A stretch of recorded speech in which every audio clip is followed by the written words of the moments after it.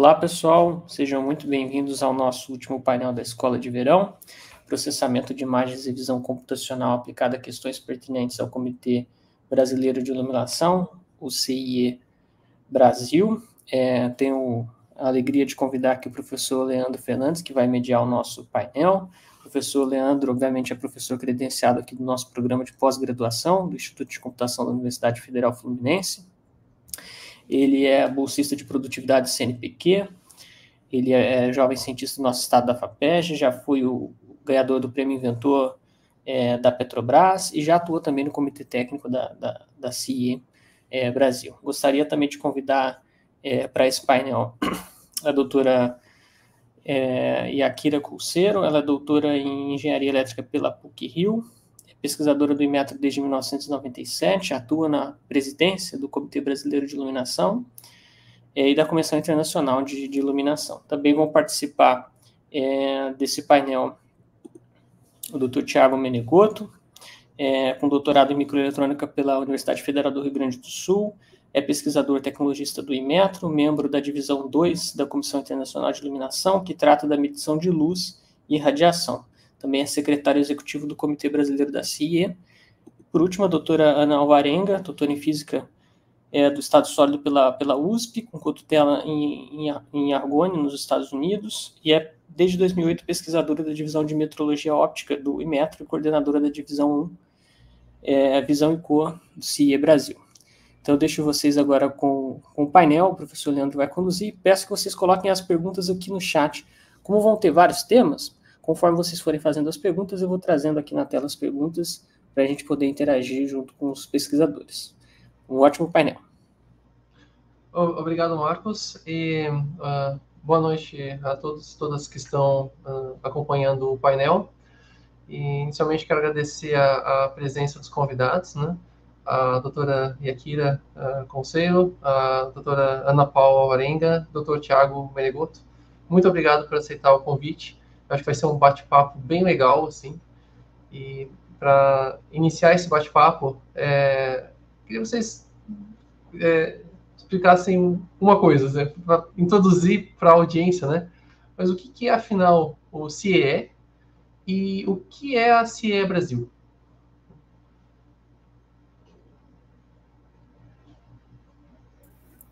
Tiago, você quer falar? Pode? Pode lá. Bem, o CIE é uma comissão, a Comissão Internacional de Iluminação, né? ela começou como uma comissão internacional de fotometria, e ela é uma organização sem fins lucrativos, é, sediada na, em Viena, na Áustria. É, ela tem é, assim, alguns objetivos que estão relacionados a estudo e também é, trabalhos relacionados à medição de luz. E um, é um fórum internacional, né? Ser um fórum internacional para discussão de todos os assuntos relacionados à ciência, à tecnologia também, né? Desenvolver normas e procedimentos, orientar na aplicação de princípios e procedimentos de desenvolvimento de normas nas áreas de luz e iluminação e, assim, é, ela publica é, documentos técnicos nessa área, ela tem algumas divisões técnicas que, é, assim, é, trabalham em áreas é, pertinentes à iluminação. Uma delas é a divisão 1, que é a, é a divisão que a Ana coordena, que é na parte de cor, visão e cor, divisão 2 é, na, na parte de luz e radiação, é, e outras divisões relacionadas à iluminação, e a divisão 8, que é a que você coordena, que é a tecnologia de imagens. O CIA Brasil ele é um comitê nacional relacionado à Comissão Internacional de Iluminação. É, existem várias formas de se é, de estar ligado à, Comissão Internacional de Iluminação, uma delas é ser um comitê nacional, e o Brasil tem um comitê nacional, é o único comitê nacional é, da América Latina, é, eu acho que é da América Latina, né, Tiago? Acho que sim. É, o outro comitê nacional que a gente tem nas Américas é nos Estados Unidos. É, e, assim, a gente, é, no Comitê Nacional, a gente tem coordenadores das divisões técnicas, que são os representantes do Brasil nas divisões técnicas internacionais da Comissão Internacional de Iluminação. É, a gente tem algumas vantagens de ser é, um comitê nacional, uma delas é um, assim, ter um desconto é, na compra das publicações técnicas é, da, da CIE, da Comissão Internacional de Iluminação. A Comissão Internacional de Iluminação ela é, é super reconhecida, interna, ela é super reconhecida por várias instituições é, é, na área de metrologia, por exemplo, ela é reconhecida pelo Bureau Internacional de Pesos e Medidas, né, e assim, eles já fazem um trabalho até com, com o pessoal da, das, dos é, Institutos Nacionais de Metrologia. Muita gente de empresas e de Institutos Nacionais de Metrologia participam das divisões internacionais da CIE. Então, assim, é importante que a gente é, trabalhe o estado da arte nessa área de iluminação, que é, que é importante para o pessoal do Inmetro e de outras instituições nacionais e internacionais. Eu não sei se deu para entender, assim, se eu fui clara, se eu não fui, por favor, é só perguntar. Não, acho que foi, foi claríssima. Uh, vou, vou, motivar aqui um, um, uma discussão, né, para a próxima pergunta, para tentar trazer mais próximo do, do, do, da pessoa, do dia a dia, né, o, a importância da, da, da CIE e também uh, a trazer para o, o estudante de pós-graduação o porquê que é interessante estar a par dos, dos trabalhos. Né? A pergunta é, é que tipo de é, impacto tem o trabalho do CIE no, no mundo, né? como afeta até chegar no, no cidadão, né? uh, e, e como isso esse impacto pode estar relacionado com pesquisas de pós-graduação. Queres que eu tente um pouco? tá. Não, então, é, eu ia só é, dizer que a, a CIE, ela, ela, ela, ela tem um paralelo com as é, organizações internacionais de, de normalização, como, por exemplo, a ISO e a IEC, né? Então, ela também, como ela também, um tipo de documento que ela produz são normas. Né? Então, a, a, primeira parte, assim, que seria a aplicação no, no, dia a dia, né, é pensar que a gente tem é, na área de iluminação né, e nas áreas de interesse da, da CIE, que são, que são muitas da área de iluminação, então a gente tem, por exemplo, é, a questão da iluminação ambiente e, a, e também a iluminação é, exterior e de sinalização e transporte, né. Então, essas são áreas muito aplicadas e que a gente consegue ver imediatamente qual é uma aplicação de um, de um procedimento, de, um, de uma, um documento técnico elaborado pela CIE. Então, ele pode dar recomendações sobre como é para como é uma maneira mais adequada de, de, de, montar um sistema de iluminação, de, é, por, por, exemplo. Né? E outros documentos são mais, são mais voltados para a parte de medição. Né? Muitos dos documentos, por exemplo, da divisão 2, que é a medição de física de luz e radiação, eles são muito voltados é, para a questão de medição de, de, uh, de radiação tanto visível, quanto ultravioleta, quanto VC, e toda essa, essa questão de, de, nessa parte. Né? É, e tem também a parte da, de fotobiologia e fotoquímica, né, por exemplo, que é, que é quando tu estuda o efeito da, da radiação sobre tecido biológico e, e toda essa, e todo, e todo, é, todos esses efeitos. Né? Então, ela publica, é um, um, as, muitas vezes são conjunto de dados, outras vezes são, é, são equações que descreve, né? e, e, são documentos muito detalhados, porque eles são, eles são é, produzidos por especialistas na, na área. Eu não sei se faltou, eu acho que tinha uma outra pergunta, né? Ah, o, o complemento, né? Que é, isso é, realmente é como afeta, como afeta o, o cidadão, né? A, a, pessoa na ponta da cadeia. E trazendo para o é. universo de uma pós-graduação, é, como um, ah, um, estudante de pós-graduação, por que ele poderia estar interessado né, no, no, no que a CIE é, faz né, e tem a oferecer? Sim, é, a CIE, a CIE normalmente ela tem, é, ela tem uma um, interessante, uh, no meu ponto de vista, é, oportunidades interessantes do, dos estudantes deles começarem a se inserir em, em comitês técnicos que discutem é, documentos que depois vão, vão virar, é, podem virar procedimentos, podem é, eventualmente até virar normas no futuro. Entendeu? Então, ele é uma, uma, uma importante ferramenta assim, de, de que, que, o, que ali o estudante ele pode começar a se inserir, contribuir para essa comunidade. Hoje hoje está muito mais fácil do que já foi no passado não muito distante, né?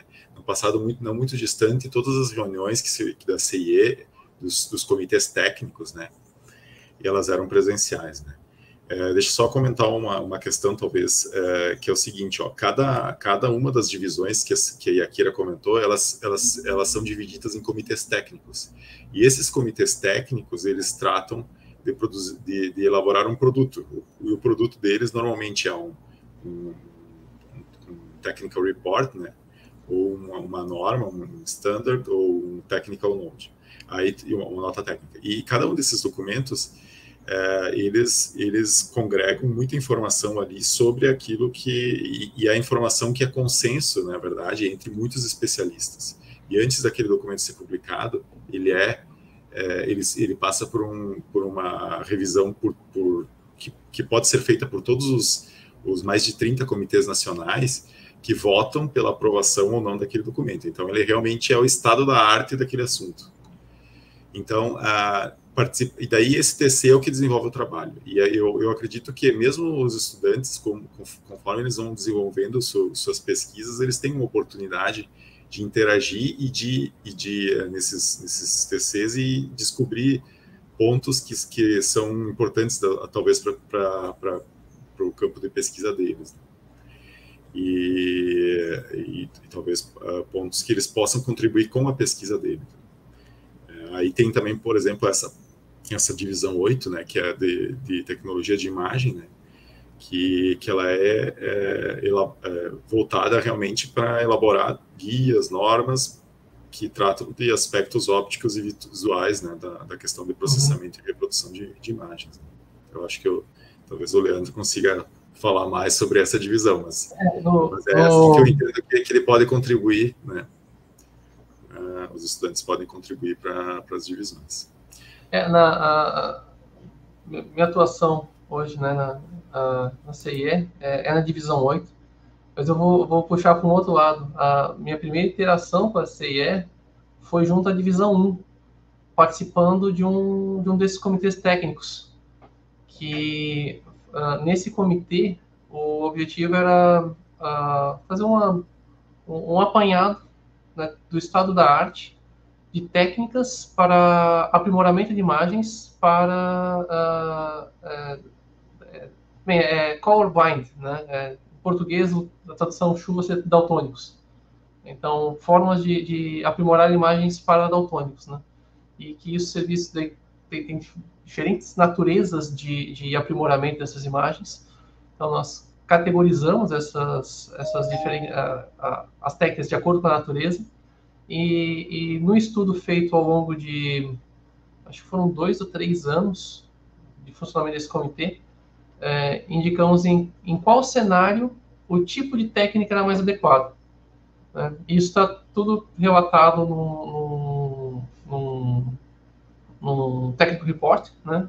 que está tá disponível lá para ser consultado pela, pela indústria, pelo, pelo pesquisador, e foi, um, uma experiência bem legal, assim. Eu era um recém-doutor, né, tinha concluído o doutorado há pouquíssimo tempo, e, e veio lá um, um, convite, né, por ter tido algumas publicações na área ao longo do doutorado, né, veio o convite para participar.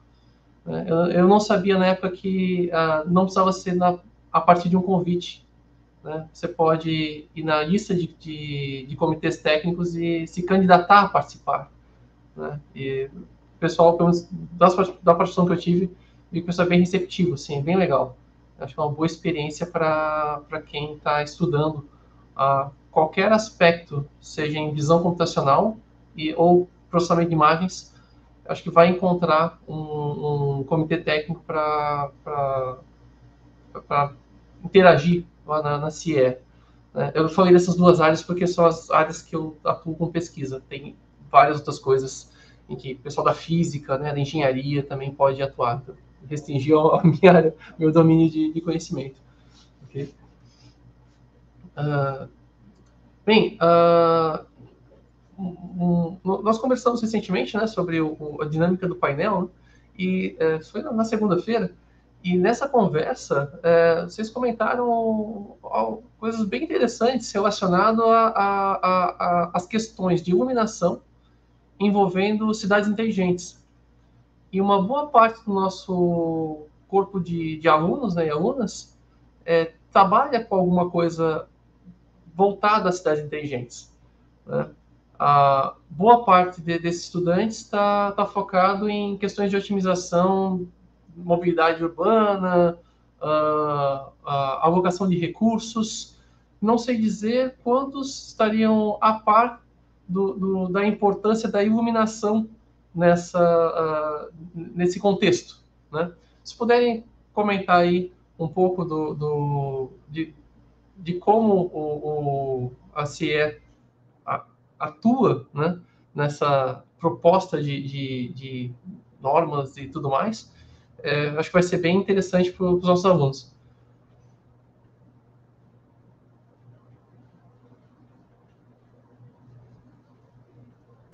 Tiago, você está dentro da divisão 2, não está? E também da divisão 3 e 4, que eles fazem. Assim, ah, é, é, você quer falar, Tiago? Fala, porque está dentro. Não, então, fala antes, depois a gente. Se tá precisar. Bem. Bem, essa parte de é, a iluminação, ela tem, assim, está totalmente integrada nessa questão da cidade inteligente. Né? A iluminação, por exemplo, é, São Paulo tem acho que uns 600 pontos 600 mil pontos de, de luz, né? Então, assim, é, eu acho que as cidades elas precisam também ter essa parte da iluminação inteligente. Hoje já tem tudo é, com, com LED, essas é, luminárias LED, que proporciona essa questão de você ter é, um gerenciamento do sistema de iluminação de uma cidade. É, então, isso, isso, integrando em todas as outras questões relacionadas a você ter uma cidade inteligente, né, por exemplo, é a, é a ideia é você, é, muitas vezes, otimizar a questão da, da iluminação pública né, é, o máximo possível. É, com sensores, é você gerenciar essa, essa, essa iluminação, né, colocando iluminação em locais que realmente sejam necessários, né, iluminar no local necessário. É, às vezes você não tem ninguém, não, não precisa daquela iluminação é, é, é, daquela forma, então você tem, tem outra forma de você fazer iluminação em que você possa otimizar é, a, a, energia ali naquela, naquela, naquele espaço. Então, assim, é, e, a CI, ela, ela, trabalha com essas empresas de iluminação. É, geralmente as empresas elas participam, representando as empresas, participam dos comitês técnicos da CIE. Muitas empresas de iluminação, é, quando eu fui em reuniões, eles estavam lá em peso, porque eles participavam é, desses comitês técnicos até para discutir algumas questões que eram importantes para eles no momento que eles estavam é, fazendo, por exemplo, algum tipo de uh, novas luminárias ou mesmo uh, protótipos dessas luminárias ou avaliando a aplicação das luminárias que eles estavam é, desenvolvendo. Então, assim, nessa parte, eu acho que além da CIE, além da, da questão da CIE, tem uma parte de metrologia também, que é importante nessa questão de iluminação.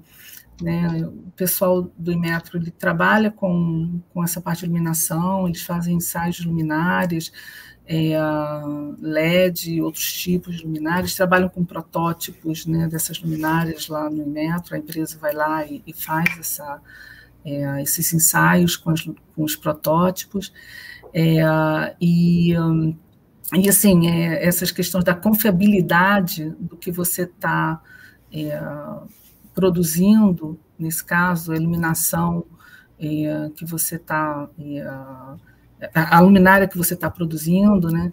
É, isso é, é, importante. Então, eu não sei se você quer falar um pouco mais, Tiago. Não, eu, eu, eu só ia uh, falar um pouco da parte de medição, né?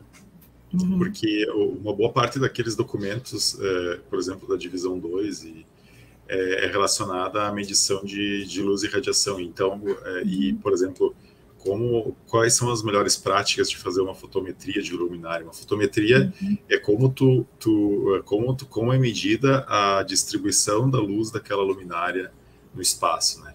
Então, normalmente o que tu faz é, é um, tu põe um equipamento chamado gonifotômetro, e tu mede a luz em muitos, em muitos ângulos diferentes. E aí depois tu usa isso em programas é, tu usa esses dados em programas específicos que, que eles mostram como, como vai ficar o teu projeto de iluminação. Tudo isso uhum. é, já, já existe, mas, mas a CIE está buscando, por exemplo, agora vai ter um novo comitê técnico que é justamente para elaborar é, um, novo, um novo formato eletrônico para dados de luminária. Né? Então, eles, eles veem ali uma oportunidade de melhoria em relação aos, aos, aos, aos padrões é, existentes, né?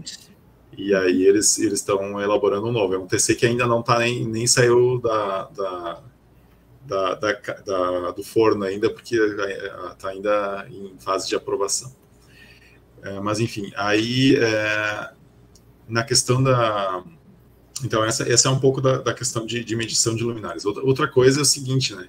é, sempre que tu pensa num, numa, numa cidade, então tu pode agora olhar e tu tá numa, num ambiente noturno, tu pode olhar como funciona a visão, né, a visão da, da, das pessoas em, um, num, num, tipo de visão que não é aquela para iluminação a iluminação de, de, alto valor de luminância, que é aquela iluminação que a gente costuma fazer todas as atividades do dia a dia, né? Uhum. É aquela iluminação que é um pouco menor então, tu, em vez de tu estar no regime fotópico, que é o regime típico, né, para valores altos de luminância, tu pode entrar num regime mesópico. Então, de repente, tu pode aplicar e otimizar a tua iluminação para consumir menos energia em determinados horários, usando um pouquinho menos luz do que normalmente tu, tu precisaria. Mas isso é do que necessita.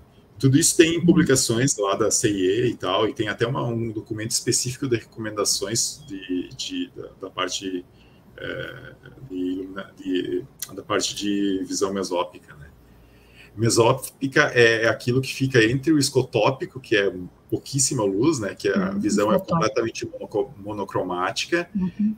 Isso é governado por um tipo de, de, de de células, né, da visão humana, e, o, e, e, e, fotópica é outro tipo de célula novamente. Então, é uma visão é, de, é, que é policromática, digamos assim. E, bom, eu acho que era isso que eu queria comentar. Não sei, Ana, tu quer trazer alguma coisa? Bom, ainda pegando o gancho aí que você está falando de caracterização de luminárias, né, e de caracterização da luz, então tem a questão da cor, né? da, da característica de temperatura de cor, de, de, de, é, de todas é, a, que tem assim a importância né, na parte de comercial também, né? Como que as cores são reproduzidas dependendo do tipo de iluminação que você usa, uhum. né? Do tipo de lâmpada, né, tal. Então, aí essa parte, né? É, essa parte, assim, esse estudo dessa dessa parte da, de cores também então, isso tem a ver com a divisão 1 juntamente com, com as outras divisões, até onde o, o pessoal da divisão 1, né, que é a divisão que fala de visão, né, e cor, né, ou seja, a divisão ela é dedicada assim, ao estudo de, das respostas visuais né, aos estímulos de, de luz.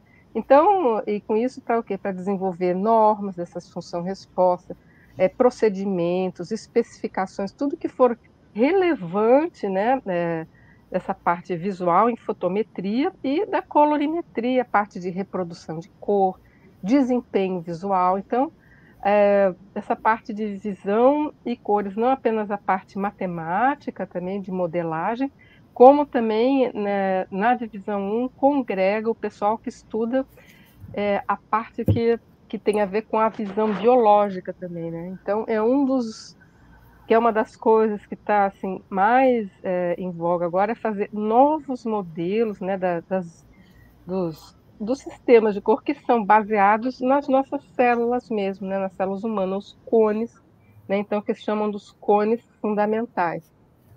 É, e, bom, eu me passei um pouco, mas voltando, Tiago, né, a parte de iluminação, né, então, a, essa parte das, das cores, né? Também existem normas, estudos, e isso está dentro de, desses grupos técnicos, né, desses comitês técnicos e desses que eles chamam joint committees, né, os comitês é, juntos das, das várias divisões. O bacana disso é que cada um desses comitês técnicos, eles congregam grupos de pesquisa do mundo inteirinho. Então, é muito lindo ver o pessoal dos Estados Unidos, da Finlândia, lá do outro lado do mundo, lá do Oriente, assim, né, nos países uh, né, Japão, todos lá, Coreia, esses grupos e trabalhando junto nesses, nesses projetos.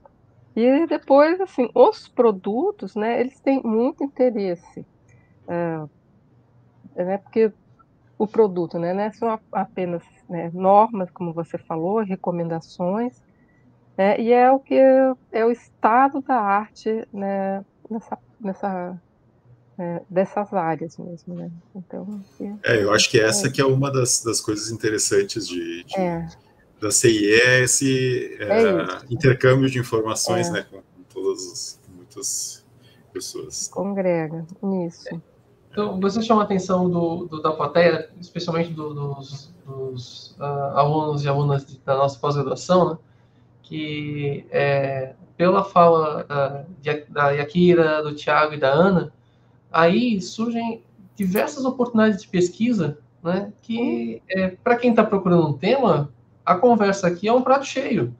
Repara só, uh, se esse, esses comitês técnicos, né, eles está elaborando recomendações, normas para uh, uh, não, não sei, acho que padronizar não é o mais adequado, mas para direcionar algum problema de ordem prática, a existência desses padrões, dessas normas, ajudam a criar é, é, é, limites do que tem que ser atendido em termos de alguma pesquisa. Né? Por exemplo, a Akira comentou sobre a, a, otimização de recursos de energia, né, pelo uso de, de lâmpadas mais adequadas uh, para os ambientes, é, foi nesse sentido, né? Então, um, um, estudante que trabalha na área de otimização, não necessariamente de visão computacional, mas de otimização, né, pode usar uh, essas normas né, como talvez como, como guia, né, para buscar formas de aprimorar o, uso desses recursos. Então, não é um pesquisa por pesquisa, né? é uma pesquisa é. com um balizamento real, do mundo real, pé no chão. Né? Isso é uma possibilidade. Né?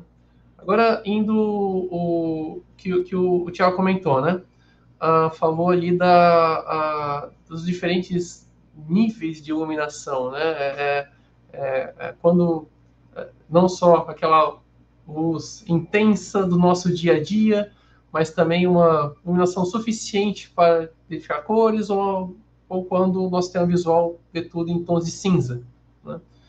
Isso uh, também pode ser, de agora puxando para o lado de visão computacional, uh, vamos, pe vamos, pegar um exemplo prático aqui, tá?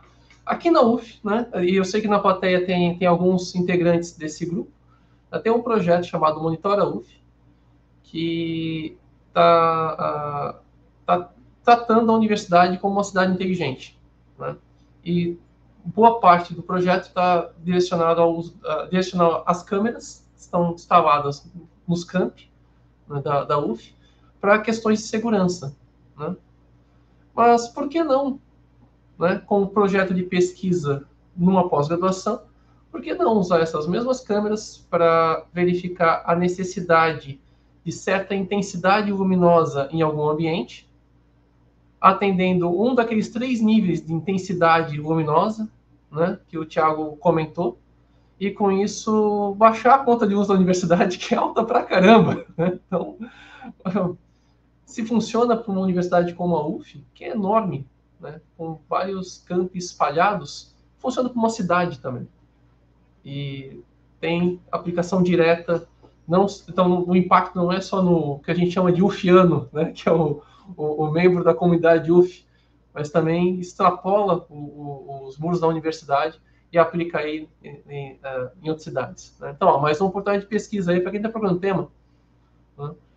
É, uh, ainda em cima da, da questão da. Ah, diga, Thiago. Eu só ia fazer um comentário que tem também uma, uma oportunidade é, que interessante, que é a questão da poluição luminosa, né? Que isso daí é, um, é, um, é uma... O que, que é a poluição luminosa, né?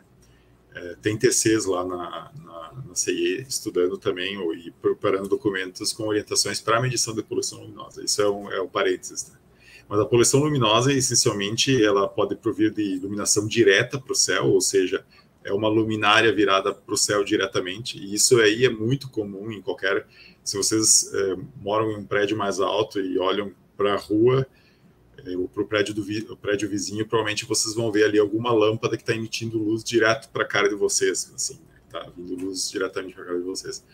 E a outra componente é, é, é luz que é refletida no chão, e, e que é, e depois vai para o céu. Né? Então, são, são essas duas componentes, essencialmente, e resumidamente, de poluição luminosa. E aí, tu. Uh, e a questão toda é, bom, mas é, como. E, e, outra, e outro componente também pode ser muita, muita sinalização, muita propaganda, né? aquelas propagandas muito luminosas, aquilo também é uma, é uma fonte de grande iluminação, de, de, de poluição luminosa. Mas, por exemplo, uh, como medir isso? Né? Então, tu pode medir isso talvez olhando para o céu e tentando, é, tentando saber quanta luz está voltando de, voltando para baixo, né? Ou seja, está tá se retornando. Ou talvez tu pode usar drones ou coisas assim para ir tirando imagens do, do, do, do, chão, né? Fazendo imagens do chão e, vendo de onde é que está vindo luz direta, né? E aí pode ser uma, uma ferramenta para ajudar ou para auxiliar as prefeituras e, e todos para estabelecer, talvez, é, leis municipais e outras, e outras coisas que possam ajudar a diminuir a poluição luminosa. É só um comentário de, de ideias de, de, pesquisa. Né? Algum, já tem alguma coisa nesse sentido, mas é, são outras. Não sei, se, não sei se aplica aí dentro. É, e, e, agora indo para o que a Ana Paula comentou, né? É, em relação a, a modelos é, de cor, né? que é o, o, o tema lá da divisão 1, é, uma coisa muito importante uh, uh, quando se tenta fazer algum tipo de inspeção de algum dado que ó, tipicamente é feito ao vivo, né? Então você tem que ter a, as cores daquele material, né? Uh, uh, reproduzidos, né? Quando sai do ao vivo e vai, sei lá, para um ambiente virtual, da realidade virtual, é uma coisa que está sempre na moda, né? usar um óculos de virtual para inspecionar coisas. É, então, será que a percepção de cor nesse ambiente virtual é fidedigna em relação ao ambiente real? Isso pode afetar a análise. Né? Então, um, um trabalho na, bem pertinente assim em computação, né, para uma pós-graduação e de novo com aplicação prática no mundo real e balizado por regras bem delineadas que vêm aí dos grupos de trabalho CE, né, é, é, um, é algo interessante, né? Quem então, sei que tem um, um, um grupo razoavelmente grande de, de, estudantes aqui na nossa, nossa pós que trabalham com, com realidade virtual ou coisas relacionadas, né? Então, é, quem sabe colocar na equação aí a, é, essa questão prática, né? Para diminuir a distância entre o resultado acadêmico e o resultado aplicável uh, no mundo real. Então, que seria, então, resumindo, a, a validação da reprodução do dado dados visuais em ambientes virtuais. Então, mais um, mais um termo aí. E, e da, dos, do que foi comentado aqui, só imagino mais um aqui, que a gente tinha conversado sobre isso na segunda-feira, quando a gente se reuniu. Ah, acho que foi, agora não foi Tiago, se foi Ana Paula que comentou agora há pouco sobre fotometria. Foi Tiago, né? Então, quem é da área de visão computacional já é, conhece a, a técnica Nerf. Né? Nerf está na moda, é bonito, é legal, é divertido. Né? Se for ver, o que o Thiago falou é metade do que o Nerf faz. Né? O Thiago falou assim, pô, no ambiente você coleta informação luminosa de diferentes pontos e vê como é que está essa informação transitando no ambiente. Afinal, é isso que o Nerf faz. Você coleta fotografias de um objeto ou de um ambiente, calibra essas imagens né, de forma extrínseca e depois reconstrói o, o, o volume, onde, dado uma posição, uma direção, você tem a densidade esperada naquela posição e a cor esperada ao observar daquele ponto de vista. Né? Isso é meio caminho andado para um, por um sistema de fotometria. Provavelmente, a gente chacoalhar a árvore de artigos pelo mundo, vai cair dois ou três fazendo isso. Né? Mas, uh, mesmo assim, tem formas e formas de fazer. Né? Então, é, um, é, uma, outra, uma, uma outra ideia aí para quem está procurando um tema. Né? E, de novo, é, é a possibilidade de desenvolver uma pesquisa balizada com regras bem definidas de, de um comitê sério, né, um grupo sério, que é a CIE. Né? Leandro, uma, uma pergunta agora, então, já devolvendo, né? É, como é que o pessoal, é, nessa questão de ambiente virtual, né, uhum. é, considera diferentes fontes luminosas, né? Porque a, a, percepção de cor, ela vai depender da, do objeto e do iluminante, né? Do, da, do cara que, uhum. da, do, da lâmpada lá que tiver lá, e, e, das paredes que estão ao redor, né? Como é que, que é considerado isso nessa, nessa parte de ambiente virtual? Só vou pedir para você definir um termo, que uh, talvez o, o, quem é da plateia que trabalha com visão computacional está tá, é, familiarizado com esse termo. É, quem não é de visão computacional, talvez não. É, o que, que é o iluminante? Iluminante, bom, é, iluminante é, é, pode ser a, a no caso é, pode ser uma lâmpada incandescente, no, no caso, mas normalmente é, um, é alguma coisa que está emitindo uh, luz para poder uh, il, para iluminar o objeto, e aí o objeto ele só é visto porque ele reflete parte daquela luz. Né? E então a, a, é, tem duas, duas, dois componentes. Sempre está olhando para um objeto, tu vai ver uma parte que é a, é a própria refletância dele, mas é e aquilo ali depende da, da daquela luz que está chegando ali. Não sei se eu, é, talvez a minha definição foi muito, digamos Tem assim. Tem nossos iluminantes que são os, os iluminantes que são aquelas distribuições teóricas que tentam é. reproduzir essas fontes. Então, isso. às vezes ele está falando isso, né? Que é onde a gente usa nos cálculos, que são os iluminantes padrão da CIE, não é isso? Iluminante tipo. tal do eu não sei se eles usam, né? Leandro, é, que tipo de iluminante vocês usam quando fazem umas. Uma... Uh, uh é, antes de responder a sua pergunta, eu vou, vou tentar é, trazer isso mais para o mundo real, dia a dia das pessoas, tá? O pessoal da plateia, quando vocês forem comprar uma lâmpada no mercado, pega a caixinha e olha do lado. Vocês vão ver que tem lá D65, uh, ah, tem. Agora eu não lembro toda coisa, eu só, é, que tudo eu trago D65, esse eu sei. Quais seriam outros aí? Não. De, tem o iluminante A, depende do que você está comprando. É, Lâmpada incandescente o... é iluminante A, 2856K. É. Temperatura de cor de 2856K. É, é, depende, seria depende da sol, meio-dia, ambiente aberto, né? Uma coisa assim. É. É, é, é agora tem os F das fluorescentes. As fluorescentes. Um novo aí para os LEDs, uhum. né? É, F2, F7, F11, TL84, tem uma, as fluorescentes também. Todos, todos esses, esses nomes iluminantes, essas siglas, né? É porque a cor branca ela muda de acordo com o que está iluminando esse branco. Certo? Uma folha branca, vamos, assumir que ela é branca, a luz de vela tem um tom, no sol tem outro. É isso, né?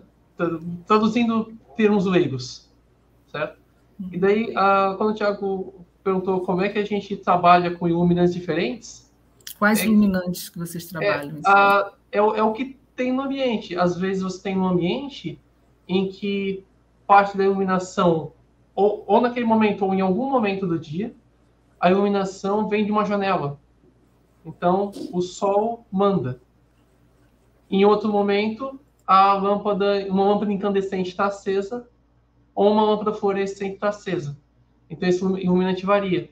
E às vezes no, no mesmo momento, por capturar a cena de pontos de vista diferentes, a gente tem um, um, a influência maior ou menor de um desses iluminantes. E, e padronizar para poder juntar informação diferentes pontos de vista para que fique com o mesmo, o branco seja o mesmo em todos os casos, é um problema de ordem prática. Né? Ah, uma abordagem típica em visão computacional é a gente não assumir qual é o iluminante da cena. Então, não sei se vem do sol, se vem da lâmpada incandescente, se vem da lâmpada fluorescente. Mas, se eu tiver é, objetos é, com especularidade alta na cena, eu posso usar um, um negócio chamado Black Channel para identificar esses pontos especulares.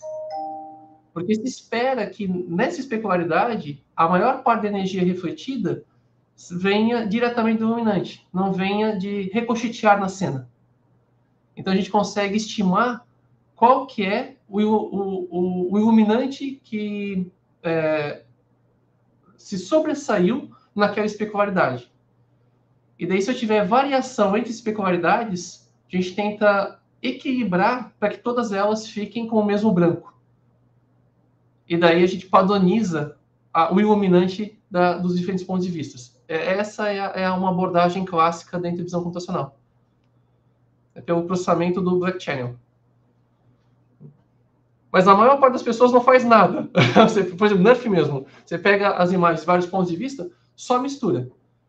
Vai acontecer que quando tem uma diferença significativa entre o iluminante, as, a informação luminosa não casa. E a reconstrução daquela parte da cena fica precária. Né? Mas um, um pré-processamento costuma aliviar esse, esse efeito.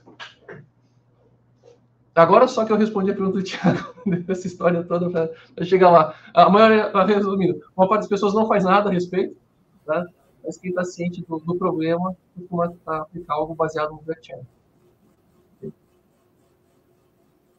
Interessante. É, eu ia é, é complementar, porque como eu, é, tu pediu para definir o iluminante, né? Tem, é, a CIE também disponibiliza um negócio que se chama o, o ILV, né? É International Lighting Vocabulary. Né? E, e, nesse, isso daí está lá no site da CIE, quem quiser é, consultar, é só entrar e em uma das abas ali é o EILV, né? E aí você, é lá vocês podem encontrar, por exemplo, a definição de várias coisas, inclusive de iluminante, né? Mas talvez seja uma definição um pouco, digamos, voltada para para essa parte mais física e de medição, né? Mas a definição de lá é, é, é, que é a radiação com uma distribuição espectral relativa definida num, numa, numa determinado é, é, comprimento de onda e que influencia a, a, percepção de cor de um objeto. Então, é,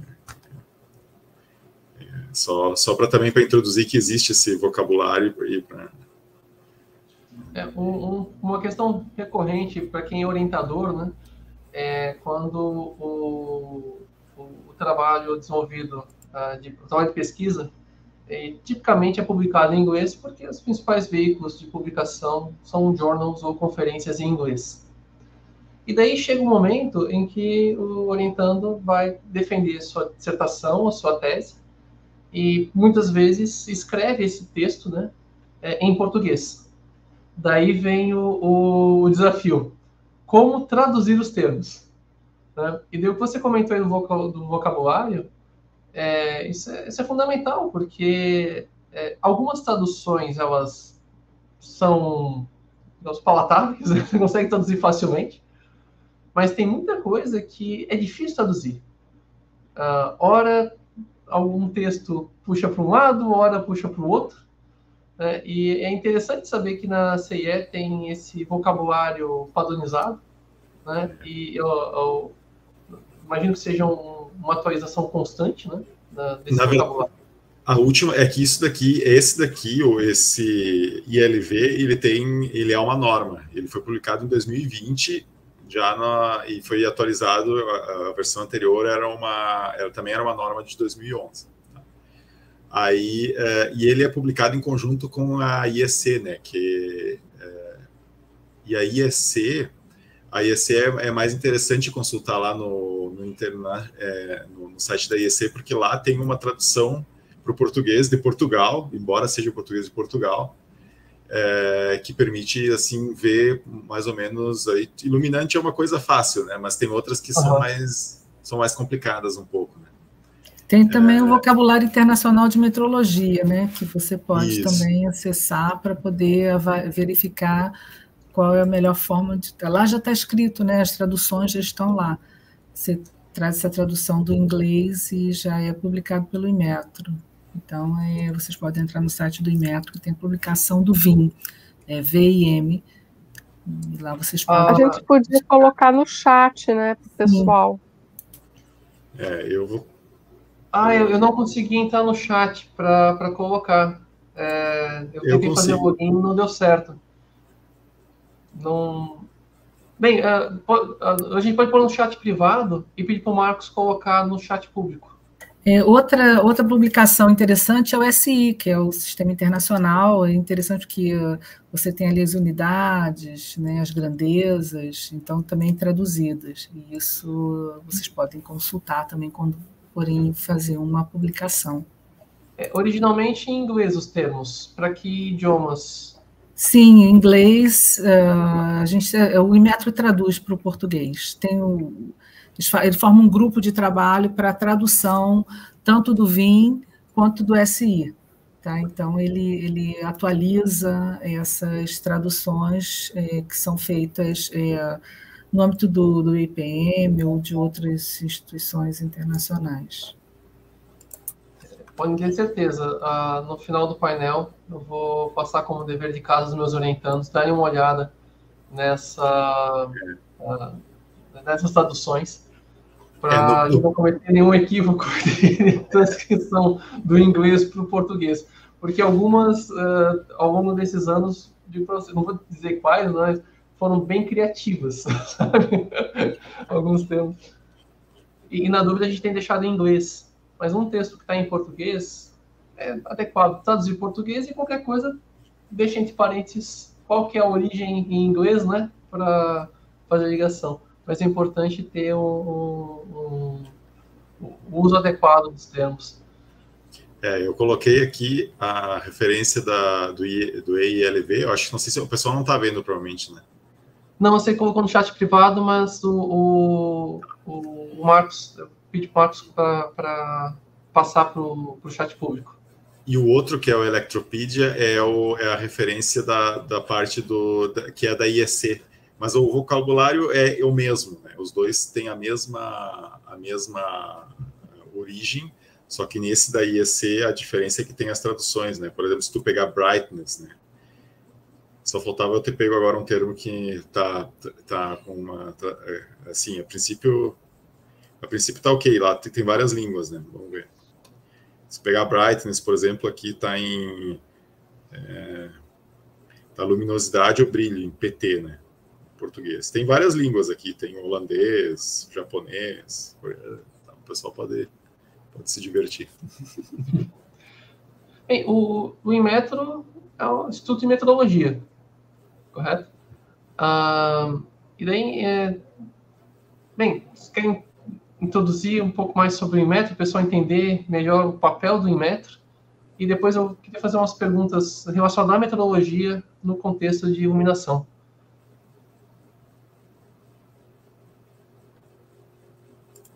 Ah, e aqui, seu microfone está desligado. Eu que vou falar sobre o e-mail. Que você falar alguma coisa, daí para falar aqui no microfone. Não, o IMETRO é o Instituto Nacional de Metrologia, né, é o Instituto Nacional de Metrologia é, do Brasil, né, é o ENEMAI do Brasil, existem vários outros, cada, cada país tem o seu Instituto Nacional de Metrologia. O IMETRO ele foi criado em 1973 para essa parte de metrologia científica foi acrescentada, foi incluída dentro dessa nova instituição. Ele tem não somente, ele é bem completo em termos de infraestrutura da qualidade, porque ele tem metrologia científica industrial, metrologia legal, ele tem acreditação, ele tem avaliação da conformidade, né? É, ele só não tem normalização que está na ABNT, mas as outras áreas ligadas à infraestrutura da qualidade ele tem. Então, assim, é, é, lá no Imetro, as pessoas geralmente conhecem o que aparece no Fantástico, mas o Inmetro tem uma parte de pesquisa, que é a metrologia científica, a Ana, eu, o Tiago trabalhamos nessa área. É, agora o Tiago está trabalhando em outras áreas, né, Tiago? Mas é, a, a gente é, existem divisões técnicas dentro da metrologia, da área científica, é, metrologia ótica, metrologia química, metrologia biológica, metrologia é, de acústica e vibração, metrologia mecânica, né, é, metrologia de, de ciência de materiais. Uh, são várias divisões técnicas.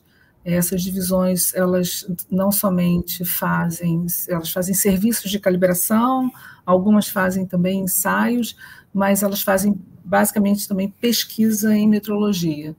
Né? Elas fazem uma parte de padronização, toda essa parte que o Tiago falou, a fotometria, você tem padronização, por exemplo, em fluxo, fluxo luminoso, em intensidade luminosa.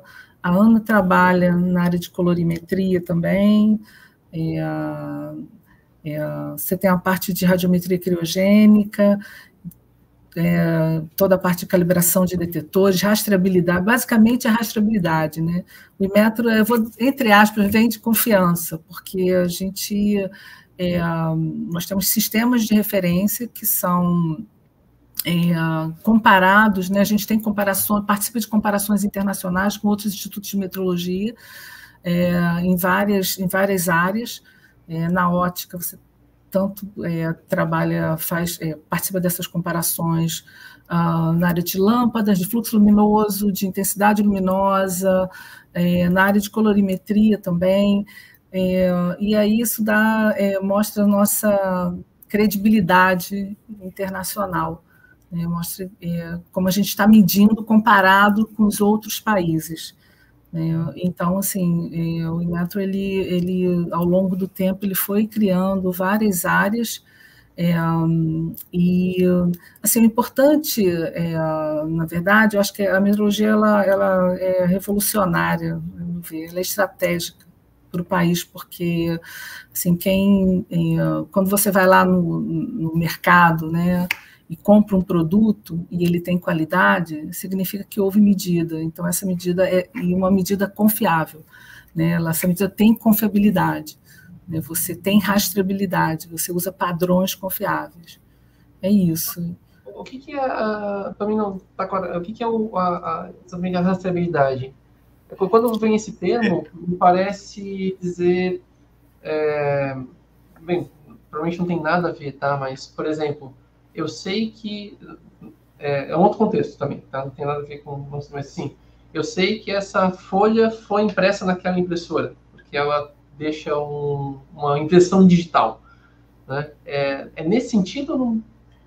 É, é, parecido, é parecido. Eu posso pegar essa para responder? Tá, é, é, o seguinte, é que tu tem uma, é, a ideia é o seguinte, né, vamos supor que tu tem um, aquela mesma lâmpada que tu citou, né, que tu citou ali, que tu pega ali, tu olha que é o iluminante é, D65, né, ali vai ter outras informações se tu olhar naquela, naquela etiquetinha ali, pode ter informação do fluxo luminoso, a informação da a, potência consumida, né, normalmente ali vem um número, né, tipo a, ela, é, sei lá, 900 lumen, né, vamos supor, o fluxo luminoso dela. Só que aí tu pensa o seguinte, bom, é, esse cara, é, alguém fez um ensaio daquela lâmpada ou de objetos ou de, ou de alguns itens daquele lote de lâmpadas para determinar que aquilo ali ia ser 900 lumen. Só que quem garante a confiança daquele resultado? Então, então agora a escala vai indo para trás, né? Então aquilo ali foi realizado num laboratório que, que provavelmente foi acreditado e que usa e que usa padrões que têm rastreabilidade. E esses padrões que têm rastreabilidade são padrões, por exemplo, pode ser uma lâmpada também de, de é, uma lâmpada, um outro tipo de lâmpada que ele usou para calibrar o instrumento dele para medir fluxo luminoso. E aí tu vai, tu vai voltando essa cadeia e aí em algum ponto tu chega no, no teu instituto de metrologia.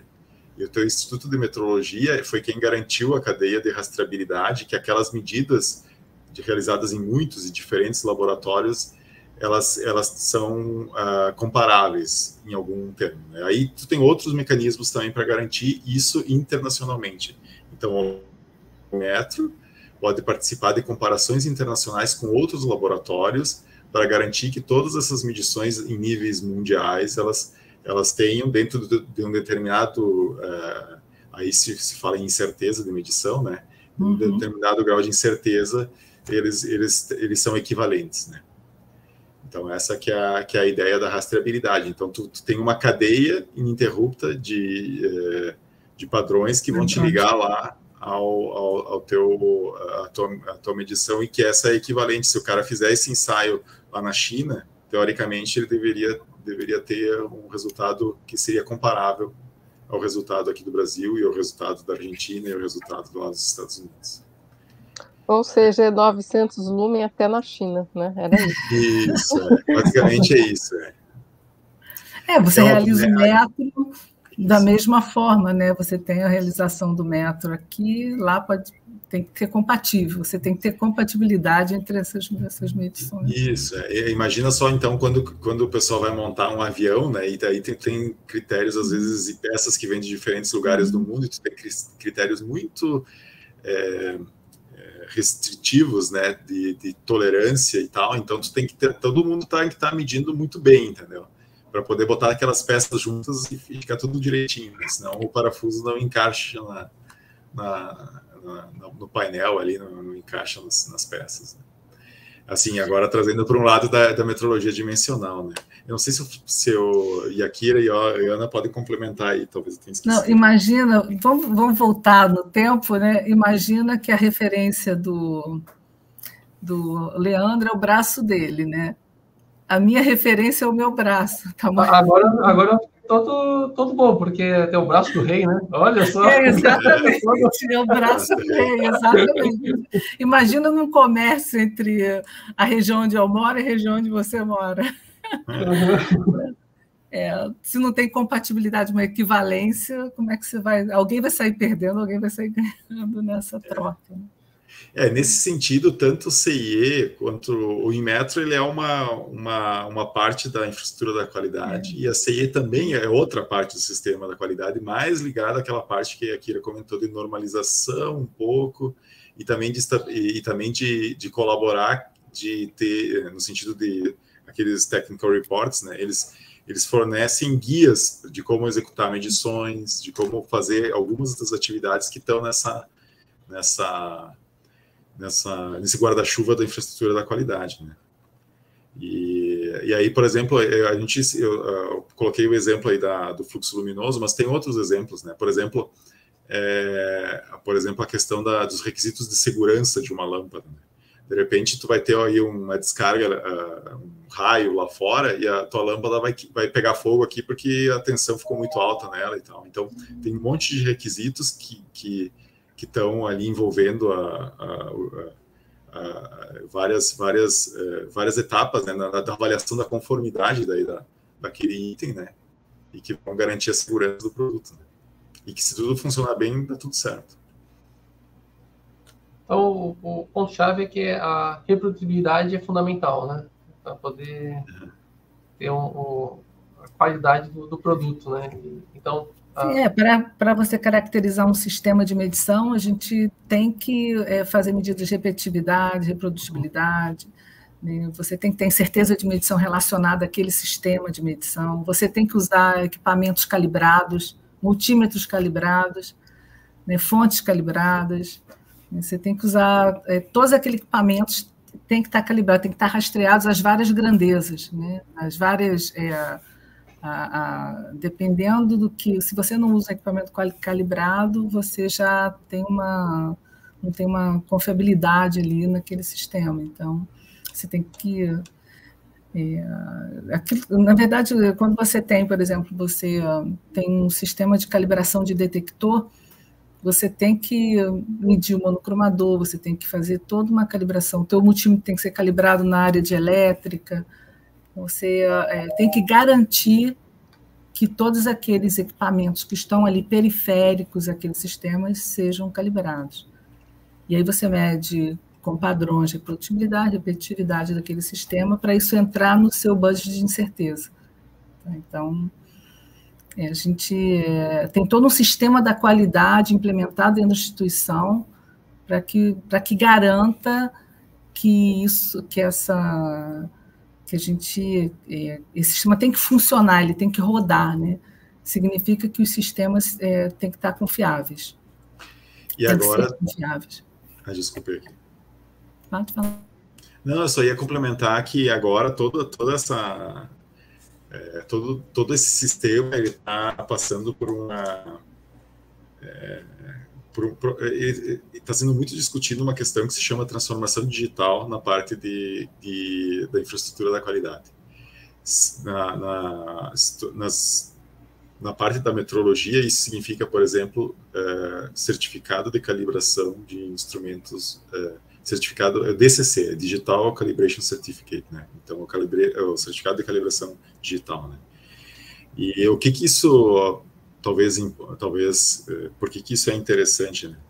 É, muitas vezes tu precisa fazer correções, né, para ter melhores resultados de um determinado instrumento de medição, né. E a ideia é que no futuro bem próximo é, os, os, próprios equipamentos consigam conversar com esses certificados e saber qual, como eles, como é que eles possam, podem fazer as correções.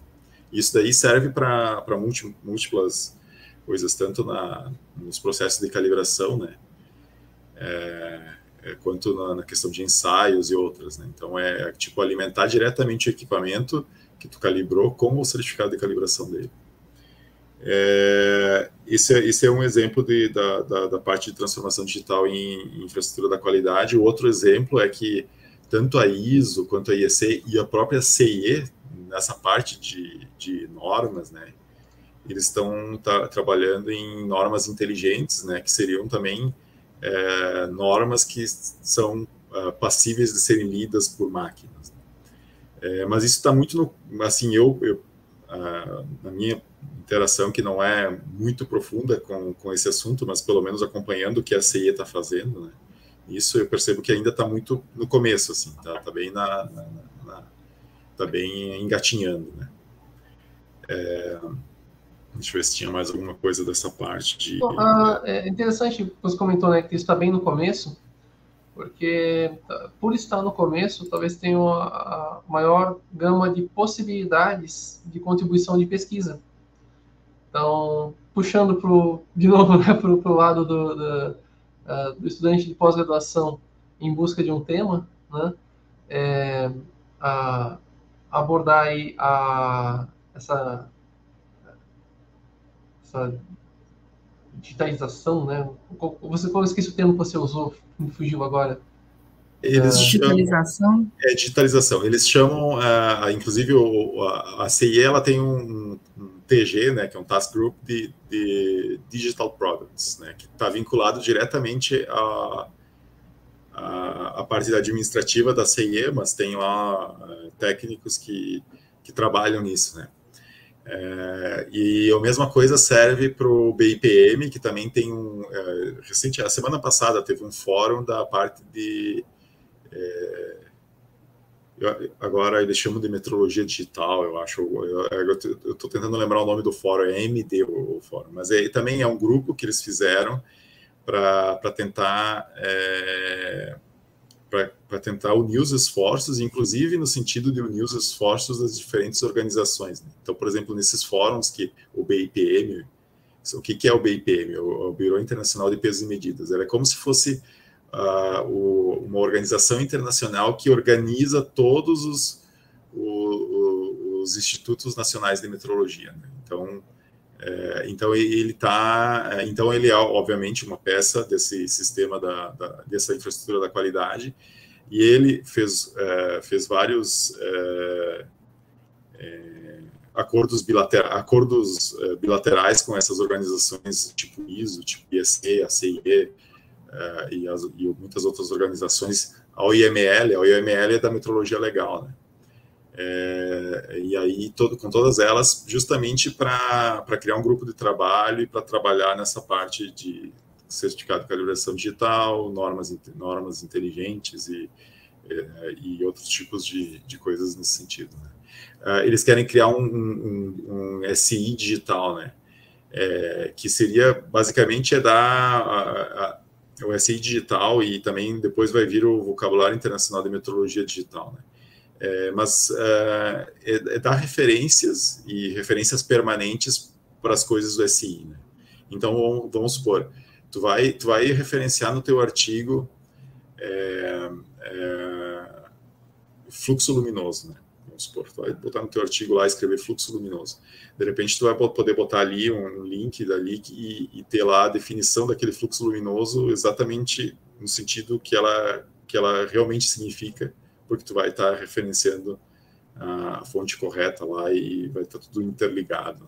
Mais ou menos essa que é a ideia e eu provavelmente estou perdendo muitos, é, muitos, digamos, pontos da, da ideia. Tem muitas outras aplicações que eu não, que eu não captei, né? da, da, minha, da minha breve é, passagem por, por esse assunto. Num, bem, você comentou que esse é um, um trabalho meio no início, né?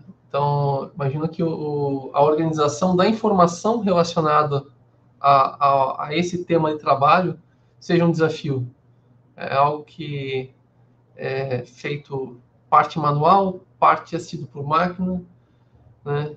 E talvez com auxílio né, de alguma, alguma técnica, não sei, talvez jogando ideias assim, talvez um, um, um esforço de quem trabalha com processamento de linguagem natural ou interpretação de da, do conteúdo de um, uma imagem, porque o, a informação está registrada fora da imagem, poderia auxiliar, né? Não sei se eu, se eu peguei o, o, gancho, né? É, poderia auxiliar nessa uh, organização inicial do trabalho, ou não? Não tem nada a ver. Não. Ah, Tiago, seu, seu microfone está desligado acredito que sim, eu vou pegar uns links aqui para mostrar um, um, pouco das coisas que já estão sendo feitas, né? Porque eles uh, eventualmente têm workshops que são abertos, então a pessoa pode entrar ali e ver o que está sendo feito e tal. Né? É, eu acho que um pouco da ideia é parecido com aquele DOI, né? Que é o como é que é DOI é digital, é, digital Object Identification. Isso é um pouco é um pouco dessa ideia, né, de ter alguma coisa que seja permanente de acordo com aquele princípio fair, né, de de, uhum. da, de informação, né. É, eu não sei quanto que o pessoal da, da ciência da computação trabalha com isso, né, mas é, é uma coisa que agora está se trabalhando na parte da, da metrologia é, da metrologia e da infraestrutura da qualidade, né, como, como estava falando.